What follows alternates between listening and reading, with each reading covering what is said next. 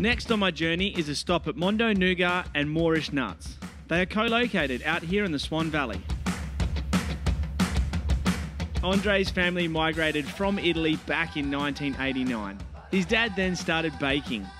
We became quite famous for our cannoli and our baked ricotta slice.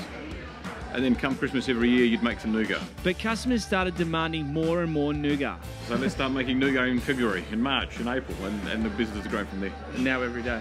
Every day, every day. So we've gone from 20 kilos a week to about 400 kilos a day. Now it's the mainstay of their business and it's going from strength to strength.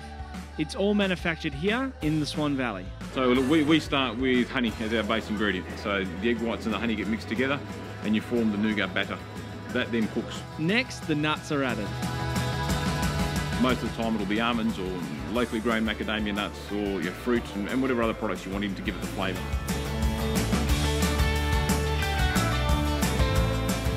The nougat is cooked, poured, and cut into pieces. And then they go through the final stage, which is the packing and wrapping. I'm amazed by the variety of products and flavours Andre and his family are producing.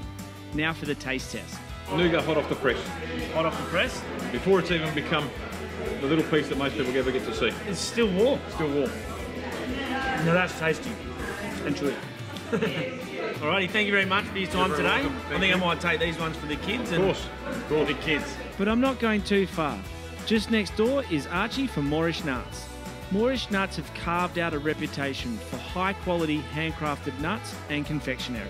Archie's success was driven by travelling to regional shows and getting people to try his delicious range of nuts. So people had an opportunity to taste the product. They weren't buying blind, and that effectively is what drove the brand. You have one and you keep coming back for more, and hence they're called Morish nuts. I have spotted some exotic flavours. Where we have the truffle macadamia, wasabi, abalone, and seeing as you're a fish man yourself, maybe we should try The abalone.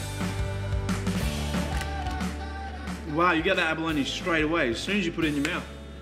Really tasty. This flavour is a huge success with international visitors from Asia, where abalone is a delicacy. Archie and his team are always looking to add new and exciting flavours to the range. The latest one has been the truffle, and that's what we're driving, and the coffee glazed macadamia.